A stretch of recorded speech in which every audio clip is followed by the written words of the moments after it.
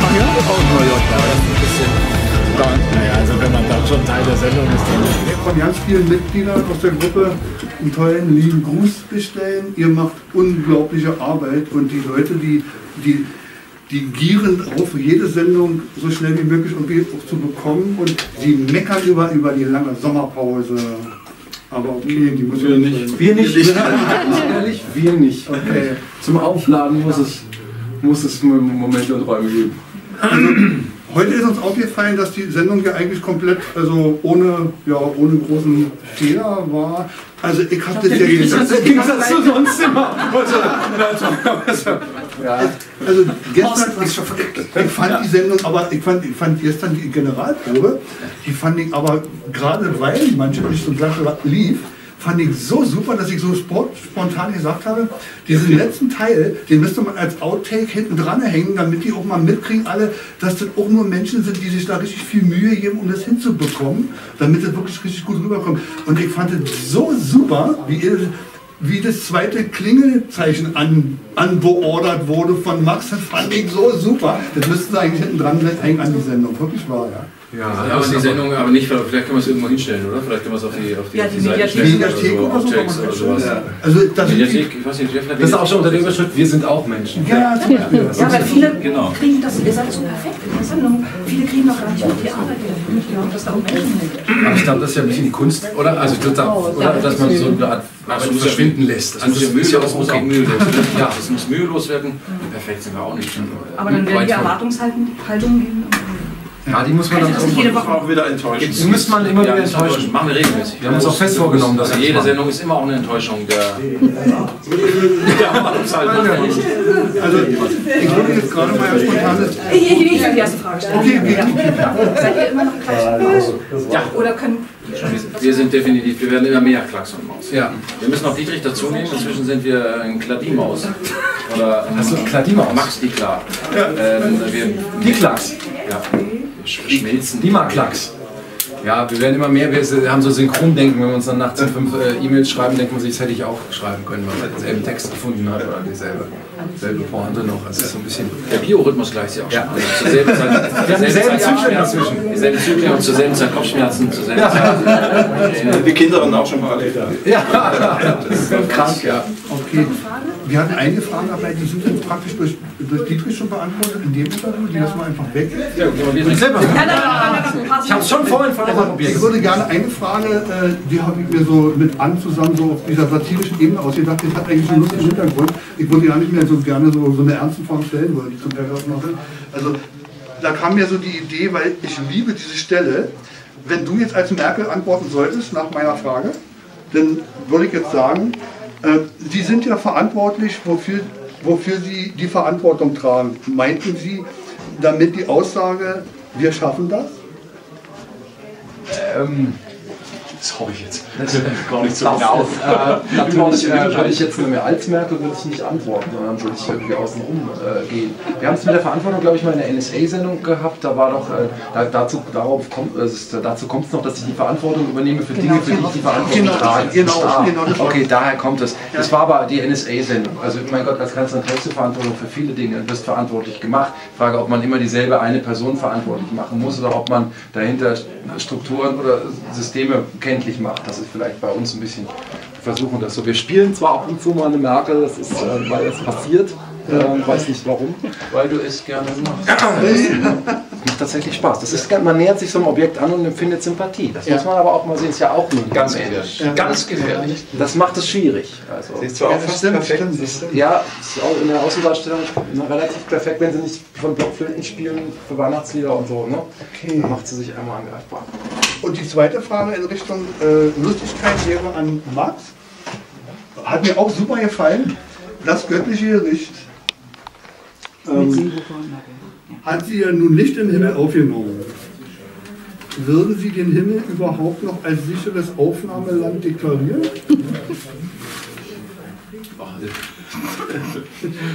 Das ist ja Bayern. Der Himmel, das ist eine Definitionsfrage. Also Horst, du hast gesagt, das ist die Vorstufe zum Paradies ist Bayern. Das ist die, das Fegefeuer. Ja, genau, das ist Dante. äh, du hast gestern 500 Jahre äh, der Luther, äh, weißt schon, mit dem Hammer äh, das äh, ist und bleibt äh, Refugium des Katholizismus. Das sage ich dir. Und sowas wie du kommt da gar nicht rein. Das werden wir auch sehen zum Schluss. Schauen wir mal.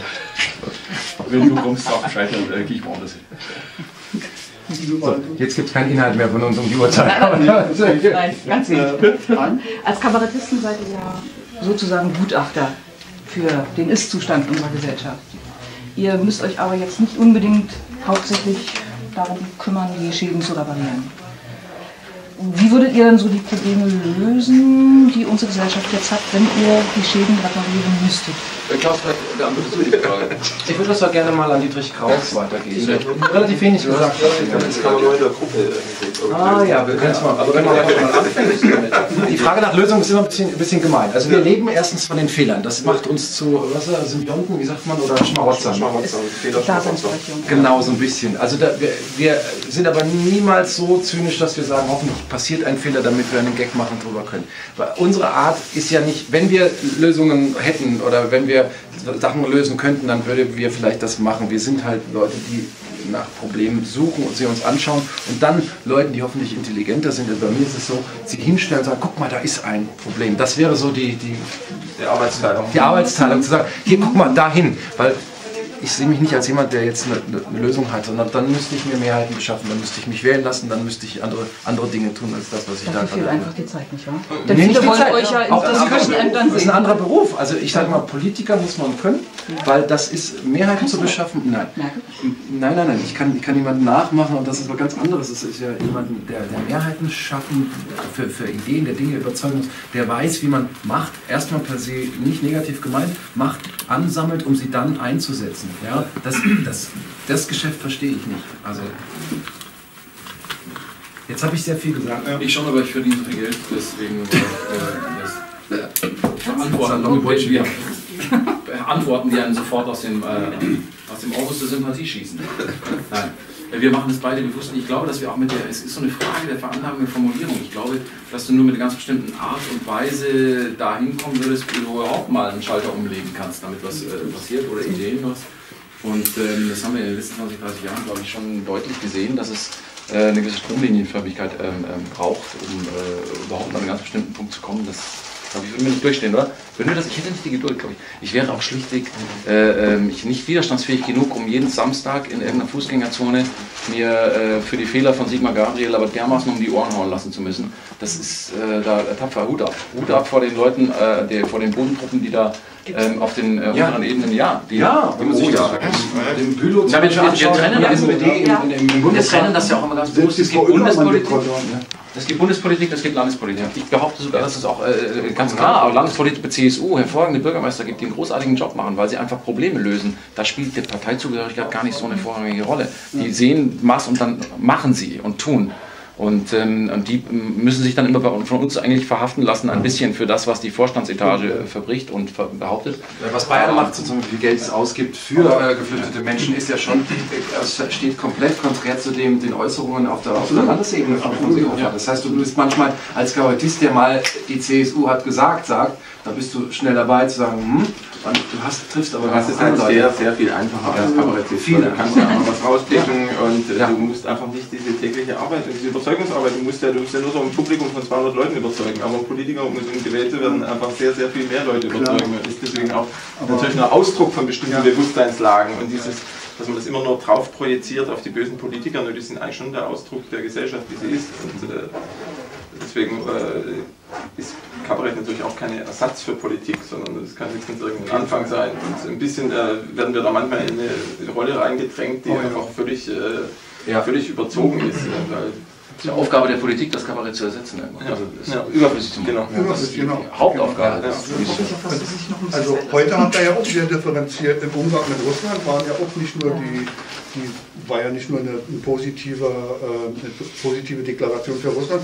Ihr habt es so, ihr habt im Grunde genommen diese Gegensätzlichkeiten genau bildhaft total gut dargestellt. Und äh, weil auch äh, diese Fans, die ihr habt, die sind ja auch immer so ein bisschen der Meinung, ja, die, die stehen natürlich voll gegen den ganzen Westen, so kommt so kommt es manchmal. Und Russland wird ja eigentlich gar nicht erwähnt, aber Leute, das geht ja nicht so. Da müsste man genau zuhören. Da sind immer Untertöne dabei, die die anderen Nationen auch mit einbeziehen. Als ihr diese Star Wars Sachen da gemacht habt, da war das nicht nur positiv für, für Russland, aber da wurde Russland erwähnt.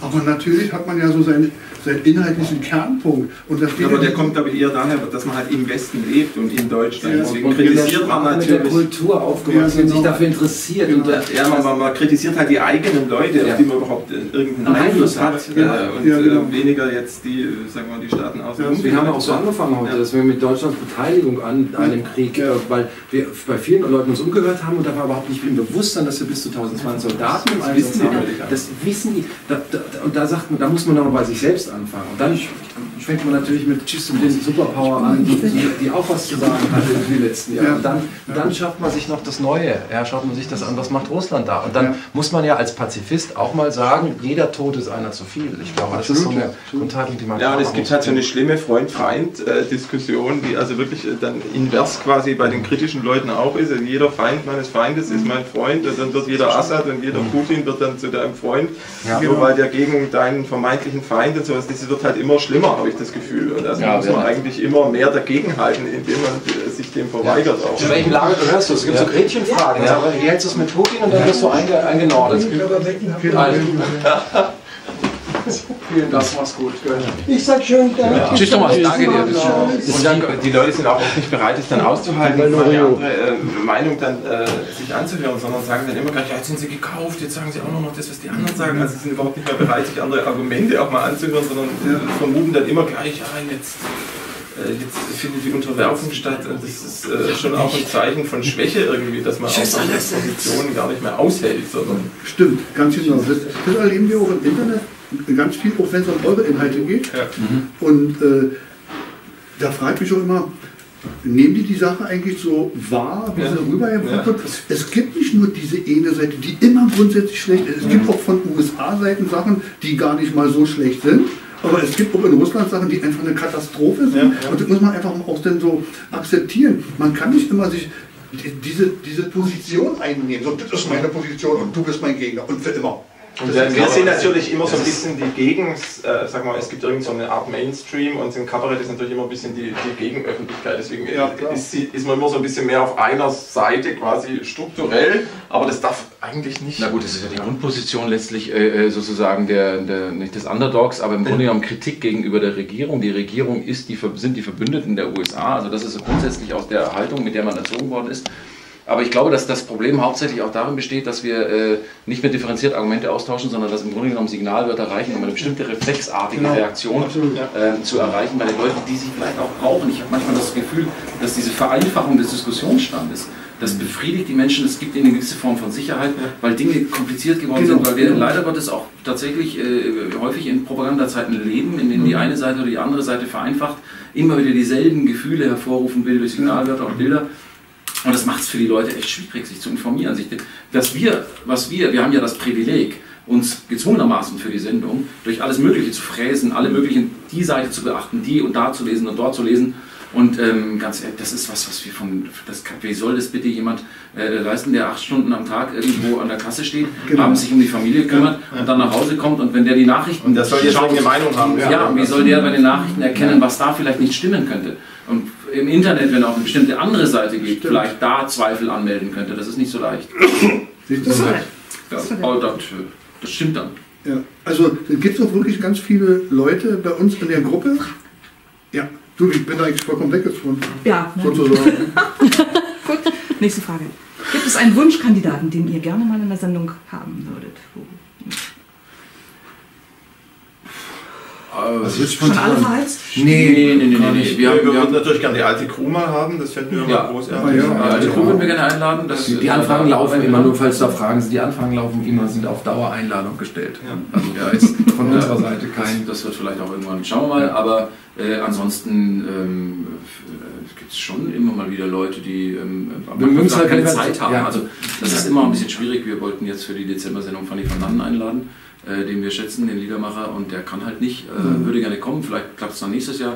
Also es gibt schon ein paar, die äh, die wir wollen. Und ähm, Ein paar die Liste, die Liste derer, die nicht, aber- wollen, nicht kommen wollen, ist äh, ähm, Gott sei Dank recht klein. Ne? Ja, Also, ja, wenn man anfragt, das kriegt man oft so, ja, kenne ich, ist immer noch überrascht. Das, wie geht's so? Ja, wir gucken das oder so. Das Ja. fand ich, also bei Esther Bejarano, die sagte, ja, ja, sie guckt die Anstalt damals, ähm, das war schon, schon ein schöner Moment. Ja, ja, die gucke ich. Ja, das finde ich schön. Sucht ihr die Gäste so nach dem Thema aus? Nein, können Nee, wir leider können nicht. wir das nicht. Die sind vorher schon bestellt und dann hast du ein Thema und dann musst du, hast du so Glücksmomente wie jetzt, dass du Oh, kurz vor der US-Wahl äh, Simone Säuger hast. Und das heißt, es ist halt Trump und Hillary in einer Sendung. Mir hat fast gedacht, die Perücke taucht auf. Aber es ist natürlich so, dass wir natürlich auch ein bisschen auf die Gäste schreiben. Das Ja. heißt, ähm, wir wissen, wer kommt. Wir haben jetzt natürlich die Planung für, wir wissen, nee, wer nächstes Jahr im Dezember kommt. Und das heißt, äh, ähm, dann muss man schauen, dann fängt man an, schon das Thema nach der Figur auch ein bisschen zu durchdenken. Und damit es dann hinterher aber wieder Ensemble, heute hat man, glaube ich, gesehen, äh, ich glaube, die stärkste oder größte Ensemblearbeit, die wir bis jetzt hatten. Wir hatten ja immer ein Ensemble. Heute Aber heute war es wirklich fast eigentlich Das war eine Traumbesetzung. Also wenn du sagst, er soll kommen, also die drei können Ja, immer das gerne können Ja, Ja. fand ich auch diese Kombination heute, die fand ich wirklich ganz toll. Aber die Traumbesetzung ist auch immer die, die Leute, die gerade da sind, weil danach merken wir, wir, wir stehen dann zusammen nach einer Sendung und die wollen dann gar nicht weg. Also es ist so ein Moment, wo man sagt, oh, man hat mal was anderes gemacht als nur selbst raus, äh, solo und wieder, man hat die Kollegen fast gar nicht gesehen, sondern man sitzt da oder steht danach der Sendung und denkt sich, schade, dass es vorbei ist. Also, wenn ich jetzt auf Tournee geht. Jetzt auf Tournee geht, also Ja. man hat zwei Tage, zweieinhalb Tage so intensiv an der Sendung Ja. gearbeitet und wir haben lange so lange dran geschrieben, dass man sagt, wir jetzt eigentlich damit mal Ja. sechs Wochen, acht Wochen lang, bis es dann auch richtig rund ist. Ja. Also man macht ja eigentlich immer nur so eine Premiere. Und Premiere, dann jedes Mal ist Premiere. nur Vorstellung ein halbes Jahr nach der Premiere. Ja, genau. Eigentlich müsstet ihr wirklich mal tun. Ja. Einen Kabarettfilm machen. Vielleicht Die das Liga gibt der ja, außergewöhnlichen Ja, Kabarettisten. ja, ja, es gibt ja, gibt ja alle Möglichkeiten dann noch, wenn man Varianten, ja. mal das. Also was auch sehr, sehr äh, respektiert wird und gelobt wird von, von den Mitgliedern in der Gruppe, äh, ist die Tatsache, dass ihr im Grunde genommen nicht so ein Programm habt, womit ihr dann zwei Jahre auf Tournee geht. Das heißt, neben eurem Soloprogramm müsst ihr quasi alle vier Wochen immer diese kleine neue Theaterstück vollkommen neu aufbauen anhand der aktuellen Sachen, die Ist passieren. ja ZDV schwierig zu verkaufen.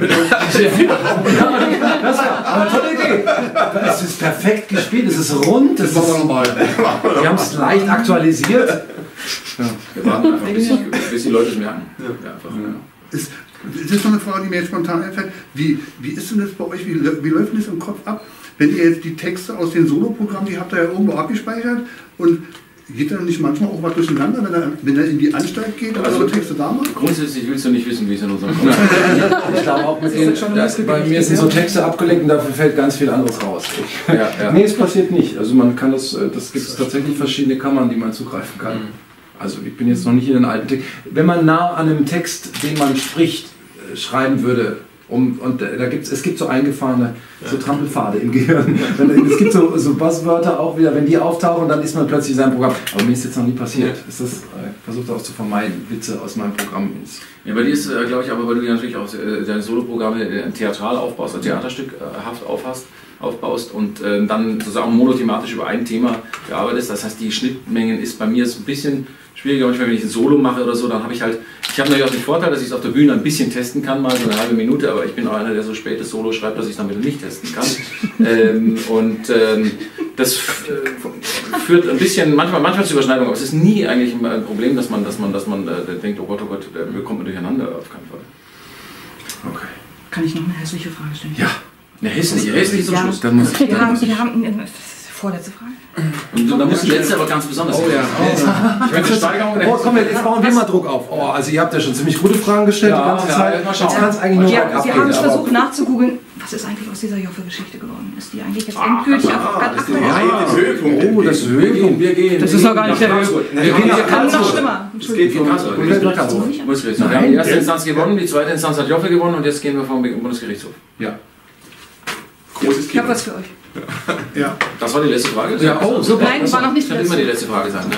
Direkt aus der Zinngießerei aus Bestensee. Ah, Wenn euch mal wieder jemand ans Bein pinkeln will Ja. und ihr müsst den so tendenziell am Scheiß vorbeihinken, stellt euch das auf den Schreibtisch. Arsch mit Ohren. Ja, nur echt die Pickel. Schreibt meinetwegen quer über die Backen Joffe.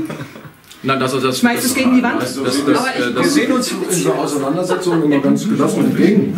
Ich finde, es geht um diese Auseinandersetzung in der Sache und nicht um die Abbildung der anderen Person. das könnte ein sehr schöner sehr schöne, äh, äh, Kabarettpreis. Also so, Ja, der- der- der kriegt das Kabarettpreis. Da fehlt auch mal der Arsch mit Ohr. Darf es den Arsch mit Ohr nicht mal Stimmt, oder? Nein? Also wir das können das mal- muss doch ah, der Aschersleben?